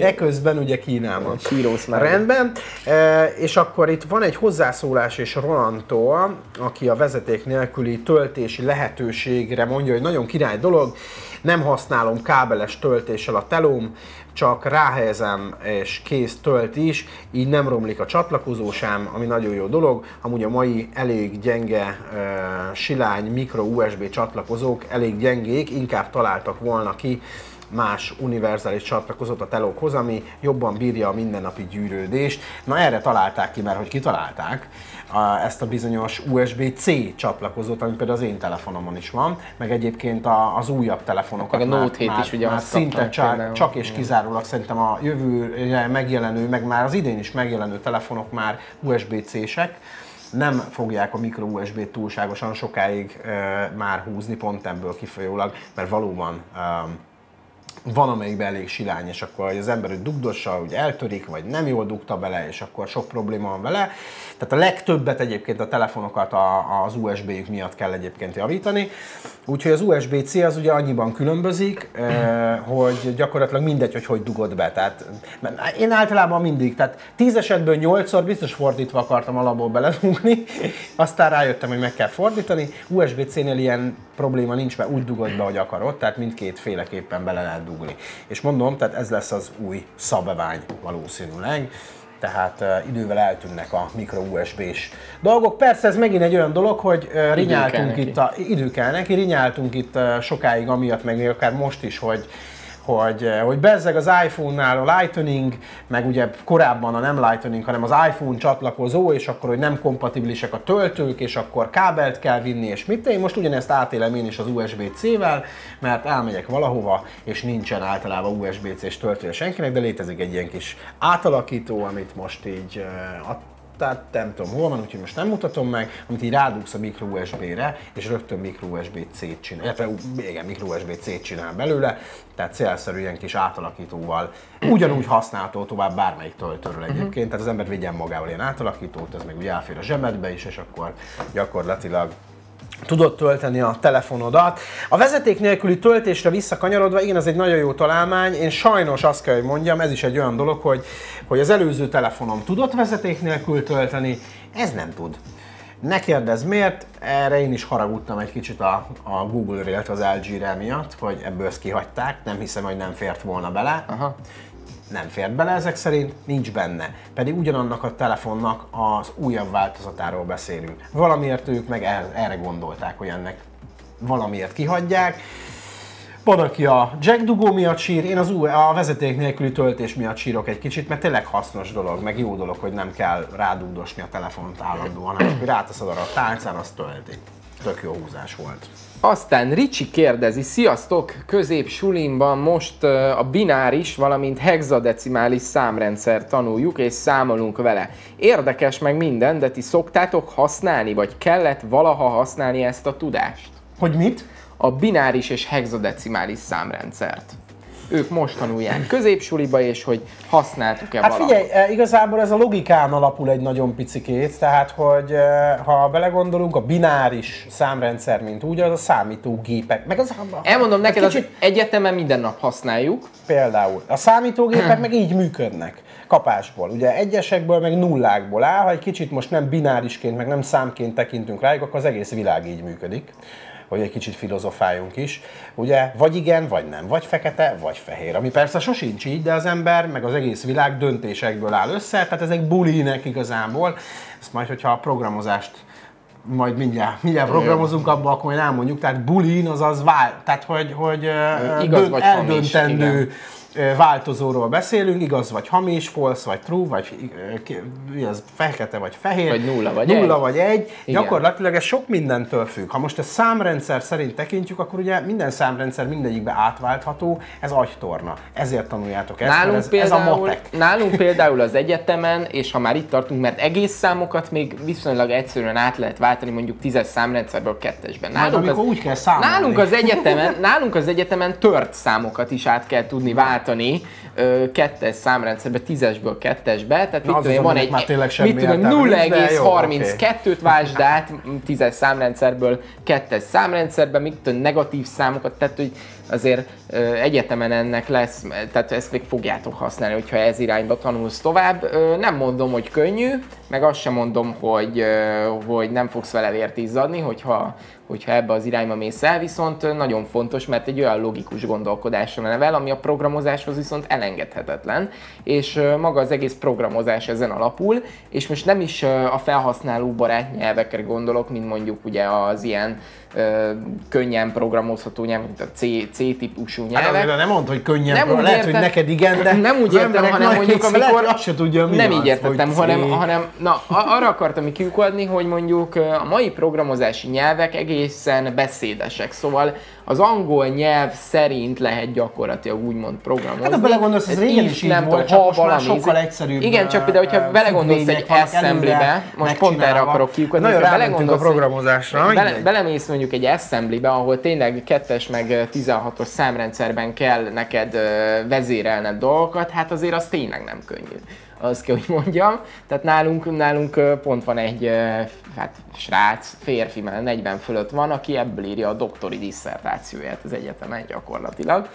Úgyhogy, úgyhogy hát el lehet menni meg irányba. aki ezzel foglalkozik, Igen. és, és, Robotikánál, meg és, irányítás hogy tanulja, technikánál meg, nagyon meg, fontos meg, meg, egyébként. meg dolgozik bele, vele, akkor egy idő után tudni fogja. Hát ez most egy olyan dolog, hogy, hogy eh, mit tudom én, a borászok is azért jó borászok, mert megtanulták, hogy hogy lehet a bort eh, szüretelni, megfelelően összerakni, és a profik lettek benne, a programozók is, eh, akik egyébként írják a programokat, amit ti nap mint nap használtok. Hát mit használnátok ti, hogyha nem írnának programokat, mert nem értenének az emberek a programozáshoz? Akkor hogy lennének itt okostelefonok, meg rá applikációk, meg ilyenek? Tehát, hogy azért tessék megbecsülni a programozókat, és ne tessék ellopni az ő általuk írt szoftvereket, ugye, mert, mert drága és ki kell érte fizetni egy-két ezer forintot. Hát azért írják, ebből élnek. Hm? Ez a munkájuk. Hát így van. Úgyhogy Becsüljük meg becsüljük meg, illetve persze mindenféle egyéb más megoldásokat is kitalálnak már, hogy ingyenes ugyan a program, de mondjuk reklám van benne, amit meg persze nem szeretünk, ugye azokat tiltjuk, de a szerencsétlen programozó vagy a fejlesztő cég az miből éljen, ha ingyen adja a, pro- a szoftvert, de még a reklámokat is kitiltogatjuk, meg azért is húzzuk a szájunkat, de fizetni Meg- már nem fizetnénk a fizetős verzióért, vagy inkább letorrentezzük valahonnan, ugye, ugye, ugye? Meg egyébként pont most az egyetemen tanulunk arról, hogy ahogy csökken a hardware ára, azzal egyenes arányosságban nő a szoftver ára. Ha, ha csökken a hardware ára, akkor nő a szoftver ára. Most erről van egy ilyen Attól függ, milyen elmélet. beszélünk. Mert ugye, ha a mobiloknál Persze. maradunk, tehát a hétköznapi eh, applikációknál ott meg pont az lett a divat, hogy úgy mondjam, vagy az a, a felé megy a történet, hogy minden ingyenes. És inkább valahogy a reklámokból kompenzálják, Hát- Igen, de ott, ott viszont a hardwareért kemény pénzt kifizetsz. Ez is igaz. Tehát ott meg pont, pont, Ez az, is igaz. pont ott van a tendencia, viszont ott, elkezdesz, ugyanez igaz egyébként az almás termékekre, például, hogyha megnézzük ott a, a mit tudom én, laptopjaikat, hogy brutál árakat kifizetsz mondjuk egy, egy, ö, egy almás laptopért, viszont szoftveresen cserébe kapsz mellé egy mit, egy szövegszerkesztőt, egy videóvágót. Hát aztán ez nagyon hát ilyen alap, egy csomó alap ingyenes szövegszerkesztő Most nem erre akartam kiukadni, hanem meg a videóvágót meg csak úgy vedd meg úgy simán. Hát azért az, azért az nem kevés. nem erre akartam attól függ, melyik videóvágóról beszélünk, mert ugye Igen. ne az ilyen Final Cut és társairól Igen. beszéljünk, ami persze otthoni használatra, meg úgy Hát az egy broadcast videóvágó jó, program. de- Egyébként olcsóbbak lettek egyébként a videóvágó szoftverek Hát az árai. Nem, most én a komolyabbakra gondoltam. Jó, jó, ezzel vitatkozni, de most ez úgyse érdekli annyira a lényeg, a, nem, nem lényeg a nézők Persze. szempontjából. Én meg pont azon morgok, hogy milyen drága Igen? mondjuk egy Edius. Ja, hát azt nem olcsó. tudom. Nem tudom, azt nem egy, egy broadcast vágó szoftver, Azt pedig nem ugye frissíteni kéne itt nálunk is már a repertoárt egyébként, mert elég régi verziókat használunk. Na mindegy. Um, jó, programozzunk, jó, mert nem el fog Na, menni az oké. időnk, aztán utána, ha- marad idő a műsor végén, vagy akár majd a Facebookra, akkor válaszolunk egy-két kérdésre, mert jött itt azért egy-két hozzászólás, amire azért. Én odaadom a gépem, cseréljünk Ja, jó, jó, jó. hozzá, az a, leg, az a legegyszerűbb. a képből?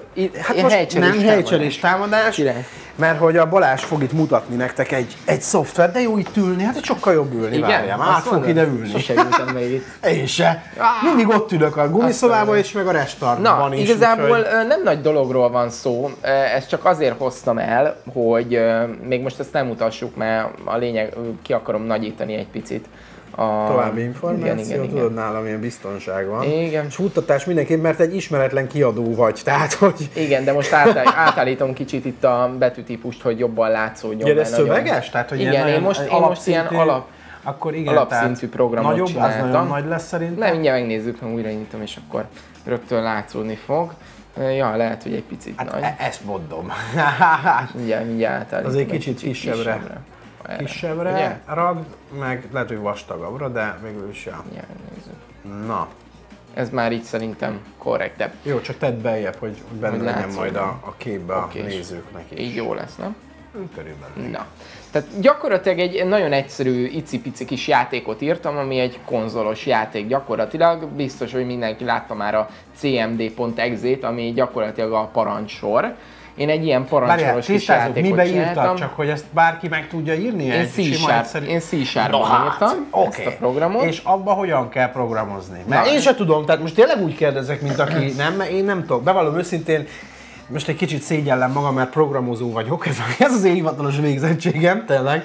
De, Direkt egy ilyen egyszerű hoztam. de az én ne- világomban, amikor még én programoztam, akkor mi a Turbo Pascalban programoztunk. Körülbelül némi kis C, C behatás azért volt, de olyan rég volt, hogy én azóta nem nagyon írtam programokat. Én arra gondoltam, hogy gyorsan megnézzük ezt a játékot, és utána megmutatom nézzük. a forráskódját Oké, is, oké, meg oké, hogy miről van És egy szó. picit majd Tehát, hogy igen, gyakorlatilag egy olyan játékot csináltam, ami, ami a játék gondol egy számra, és nekünk ezt a meg, számot mert itt, itt már ki kell találnunk. Számra. Szia, gondoltam egy számra 0 és 100 között. Szerinted mi az? És akkor itt elkezdhetünk tippelni. Mit én tudom hogy mondjak egy számot. Mondj egy 52. Számot.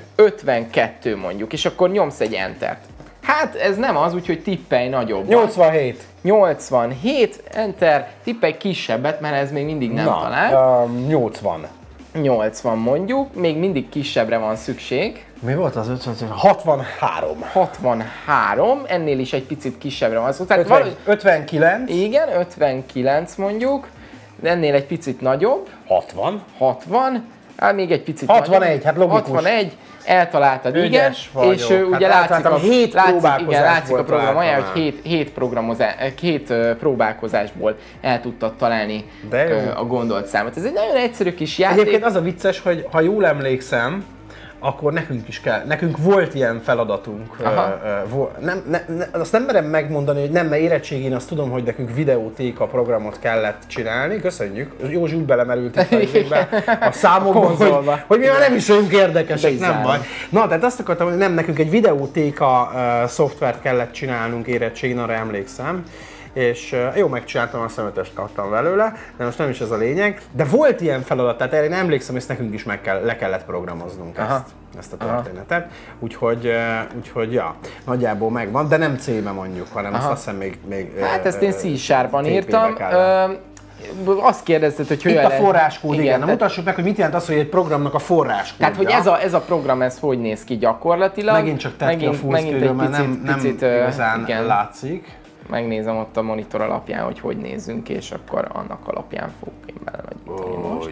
né, Szuper. nagyjából. És akkor azt látjuk, hogy itt van mindenféle krikszkraks, és akkor... Hát de nem ö, krikszkraks, hát mondjuk, Ja, hát hogy most nekik. mik, ami hogy épül Na, fel egy a- programmal. A lényeg az, hogy minden, minden program úgy épül föl, hogy van egy, egy keretes szerkezete. Ez a keretes szerkezet úgy néz ki, hogy elindítjuk valamilyen névvel ezt a programot, ennek az lett a neve ennek a játéknak, hogy Tip Game, és itt láthatjuk, hogy egy ilyen kis kapcsos zárójellel indul ez a program. Hogyha megnézzük a Annak programnak a, valahol igen, a is legalján, akkor a program legalján a legutolsó kis ilyen z- záró zárójel, tehát ez, amit itt látunk. Igen, tehát magyarul bármikor, amikor egy, egy, egy úgynevezett függvényt, mert ezek igazából függvények vagy, vagy eljárások, amiket itt használunk, azt meg akarunk nyitni, akkor az, ahhoz valamilyen szintaktis, szintaxissal meg kell nyitnunk. Itt ebben az esetben egy kapcsos zárójelről beszélünk, minden egyes eljárást ezzel nyitunk, és ezzel zárunk. Ami közötte van, az lesz maga az eljárás, ugye? Így van, tehát nagyon egyszerűen megmutatom gyakorlatilag, tehát itt van egy eljaras,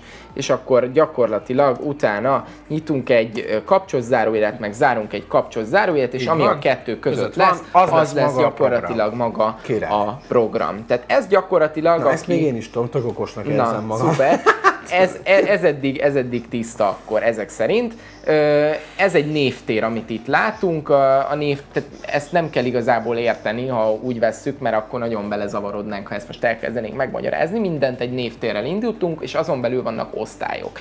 Ez lesz most a program osztályunk, ez megint csak ugyanilyen kapcsos zárójel jel- jellel nyit és zár, mint ahogy eddig, és azon belül lesznek majd a függvények és eljárások, például ez, amit itt látunk, ez a static void tip game, ez, ami itt van, ez Hát gyakorlatilag... ez maga egyébként a statikus eljárás. Ez egy eljárás, így van, és ugye azért void, mert ennek valamilyen visszatérési értéke van. lesz majd a program Itt jön be, során. és jól mondtad az angol, mert igazából, hogyha az ember tudja, hogy ezek a szavak úgy nagyjából mit jelentenek, akkor gyakorlatilag tudja Igen, is, hogy tehát- ez mit jelent. Tehát, hogy a void, mint érték igazából, vagy visz, visz, visz, visszérték, valami ilyesmit Így jelent van. egyébként. Ha megnézzük, akkor ez a, ez a program gyakorlatilag, és ez a szíve ennek a programnak nem más, mint ez a, ez a két Egy random sor, generátor. Ami egy random generátor, így van, ami rögtön az indulásnál gyakorlatilag generál egy számot, amit természetesen nem köt az orrunkra, és gyakorlatilag utána egy ciklus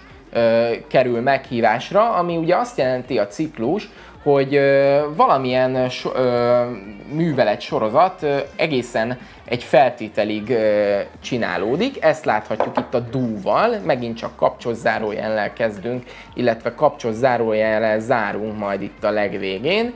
Ö, Merül föl a kérdés rögtön bennem, szerintem a nézőkben itt a is, hogy mi, mi a különbség, miért kell bizonyos kapcsos zárójelek mögé pontos veszőt tenni, és miért kell bizonyos kapcsos zárójelek mögé nem pontos veszőt tenni. Ez programnyelv függő, ugyanis vannak olyan programozási nyelvek, ahol le kell zárni egy sort, vannak olyan programozási nyelvek, ahol nem.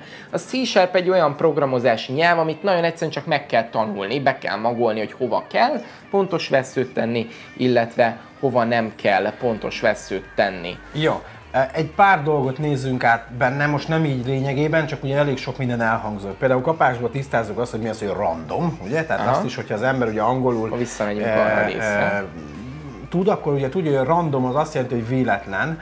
Tehát ugye itt igazából egy véletlen számgenerálásról beszélünk, ez minden számítógépnél, még minden programnyelvben egyébként, még a Basicben is létezik véletlen számgenerálás, ami arra való, hogy gyakorlatilag a számítógép, eh, a processzor, van egy speciális algoritmus, ami alapján ő kiköp valamit. Egyébként a random generátor, ezt hívják random generálásnak. Egyébként meg lehet határozni egyébként azt, például itt is meghatároztad, itt is van, hogy 0 és 101 közé tegye ezeket a randomokat. igen, tehát magyarul 0 és 101 között generálni egy egész számot, ugye int rand, tehát hogy egész számot fog Ez generálni. az integernek ugye Az integer, így van, tehát hogy egy egész, ért, egész számú értéket eh, adjon neki, abból kijön egy szám. És akkor ugye az előbb beszéltünk ciklusokról, ugye a ciklus, tehát szá- a programok ugye úgy épülnek föl, három alapprogramozási tétel van, gyakorlatilag ugye a szekvencia, szelekció, iteráció. Mind a, mindet látni egyébként benne, itt van egy szelekció Így például. van, a szelekció ugye kiválasztást jelent, tehát megnézzük, hogy az most igazából eh, mi alapján döntjük el, hogy az a szám nekünk most jó-e vagy sem. Tehát a tippünk az if-fel, tehát ha a tippünk egyenlő azzal, amit mi jól adtunk meg, akkor természetesen ki is lépünk rögtön a programból. Ha kisebb, akkor kiírja, hogy tippelj nagyobbat, ha nagyobb, akkor kiírja, hogy tippelj kisebbet, és ezáltal gyakorlatilag eljutunk odáig, hogy valóban egyszer csak kitaláljuk ezt a számot, és a végén ugye az, hogy hányszor ismétlődött ez a ciklus, az kiírja nekünk, hogy hány találatból találtuk el, így lépül fel Azt a program. Ezt hívják egyébként specifikációnak, amit most nagy- nagyjából elmondtam. Tehát, hogy egy programot, amikor megírunk, akkor nagyjából le kell specifikálni, hogy mi az, amit egy programnak tudnia kell, mit akarunk elérni azzal a programmal, és egyenként ki kell találni, hogy ebből a három programozási tételből, és most le- tényleg leegyszerűsítjük a dolgot, mi az, amivel ezt meg tudjuk csinálni. Minden program ebből a három tételből föl tud épülni. Ez nagyon hülyé hangzik, de tényleg így van. Gyakorlatilag igen. Jó, hát bonyolít, Persze itt lehet, lehet bonyolítani persze. különböző előre megszerke, vagy előre ö, ö, kitalált vagy definiált különböző eljárásokkal, függvényekkel, amikről itt ugye itt is beszélünk, hiszen ez is maga egy eljárás, közben visszajöttünk, mert már nem, Igen, ér, nem érdekes, és kiég az is. embereknek a szeme a sok fehértől, de a lényeg tehát, hogy minden program ö, szinte felépíthető ebből a három programozási tételből mondjuk így, belemehetünk még abba, hogy vannak olyan programok, amik ugye objektumorientáltak. Persze, én most direkt egy ilyen egyszerű programot hoztam. Lehet ezt bonyolítani, de alapesetben így működnek És- a programok. igen. És minden program. Tehát maga az, hogy te egy Windows-t használsz, a Windows is így működik. És hogy az hova helyzet, klikkelsz, igen. az tudja, hogy te most ha oda klikkeltél, ugye már megint ott a ha, Igen. akkor annak mit kell csinálnia? Hányszor kell csinálnia? Vagy vége? Tehát ki akarod kapcs, ki akarsz lépni onnan? Akkor kiléptél. Tehát gyakorlatilag foly, egymás utáni programok, ö, utas, utasítások végrehajtása, ugye ez a, a, a szekvencia, az iteráció, ugye a kiválaszt, vagy a, a szelekció, bocsánat, az iteráció meg gyakorlatilag A ugye a ciklus, tehát az, hogy hányszor, tehát mik, hogy azt az értéket megkapja, hányszor kell a programnak ugyanazt az utasítást, Például- vagy akár ugye lehet ezeket kombinálni egymással. Ebben a programban ugye azért van szükség ciklusban, mert addig kell bekérni a felhasználótól Amíg számokat, amíg ki nem találja. Éppen ez generál egy ciklus gyakorlatilag, hogy addig kérjük be a felhasználótól azt az adott számot, amíg el nem találja. Ezért van az, hogy De ugye jó. van egy kezdése, hogy do, meg egy while, hogy csináld addig, tehát megint az angolból, hogy do while, addig csináld amíg, és Igen. akkor egy adott, egy adott feltétel nem teljesül. Én eh, azért hoztam el ezt a programot egyébként, meg azért csináltam ezt gyorsan Hát meg, mert ebben minden benne van, ami egyébként egyrészt, egy, egy program, amiben felépülhet, és egy legegyszerűbb programról beszélünk. Másrészt azért, hogy lássátok nagyjából azt, hogy egy ilyen egyszerű programnak is a program kódja mennyire szerteágazó lehet, és most gondoljatok bele, hogy De meg lehet spékelni. Meg, mert most egy gyakorlatilag gra- egy minimális grafikus kis felület módosítása, Most azt mondod neki, hogy csak persze le kell hozzá ugye fordítani, hiszen ez egy Igen. programnyelv, ami ahhoz, hogy mondjuk Windows alatt ténylegesen Compile-olni tudjon futni, ezt úgymond compile tehát fordítani kell. Tehát ahhoz kéne ide egy fordító, ami meg itt nincs meg. Ha Visual Basic-be programoztad volna egyébként, ami a Windows-ban natív tud futni, VBS-ként, Igen. akkor gyakorlatilag ugye Visual Basic scriptként ez futatható le, nem kellene compile tehát vannak olyanok, amik real-time compilerrel, vagy real-time run, hogy mondják, ez a run, Runtime. runtime environment ugye, amikor néha láttok olyan programokat, ugye, amikor föltesztek egy programot, és néha föltesz mellé ilyen Visual C++, vagy- Redistribution, 2008, ilyesmiket. Ezek ugye ilyen real- real-time, run, nem, nem real-time, runtime environmentek, tehát futtató környezetek, amik azt szolgálják, hogy ők a háttérben real-time-ban tudják futtatni az egyébként nem lefordított programokat. Na most az a helyzet, hogy bonyolít, bonyolíthattam volna, hiszen ez egy konzolprogram volt. Ez most kicseréltem a piákat? vagy? nem, nem cserélted Akkor ki, úgyhogy- kicseréljük, jó? Inni akarok. Ö, Tehát, hogy, hogy még csak grafikus felület sincs, ez gyakorlatilag egy konzol. Ha most még elkezdtem volna grafikus felületet csinálni hozzá, és tényleg Ahhoz mondjuk megcsináltam- mázlid van, mert ahhoz például már, és itt mondtam azt, hogy itt jön be az objektumorientáltság már a Igen. kérdésbe, hiszen minek írnál meg te egy keretszerkezetet, Igen, amikor igen, a Windowsnak igen, van igen, egy keretszerkezet, meg lehet hívni igen. külső. Persze, csak az is bonyolítja egyébként, az is bonyolítja egyébként a programkódot. Tehát, hogyha most én ezt úgy akartam volna megcsinálni, hogy föl, amikor megnyitod az exét, ugye, akkor följön egy ablak, és akkor mit tudom én, legyen bezáró ikon, meg minden, akkor az még egy picit tovább bonyolította volna ezt a kódsort, és még hosszabb lett volna. Most direkt ilyen egyszerűt hoztam, megcsináltam jövő hétre hosszabbra is, ha érdekes. Ezt a forráskódot úgy gondoltam, hogy feltöltöm nektek valahova, hogyha érdekel, akkor böngészétek, illetve hogyha van rá igény, akkor uh-huh. én azt gondolom, hogy ebben is tudok rendelkezésetekre állni, mármint amennyire értek hozzá, mert hát én is ugye És Balázs nagyon szívesen vagyok. ad nektek programozási órákat, keressétek őt a, a Balázs Kuka, vagy mi van neked az e-mail címed? A fixes. Fixes? Fogalmam sincs. Balázs kukac fixhd.tv, jó? E-mail címe, ha nincs ilyen, majd csinálunk. Nem is tudom, mi az e-mail. Hogy Adam, Adam Bétót.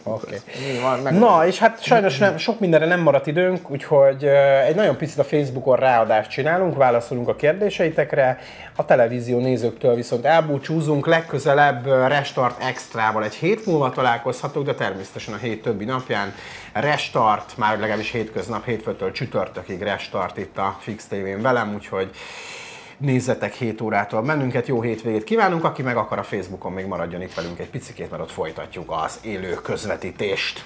Szevasztok, jó Sziasztok. hétvégét!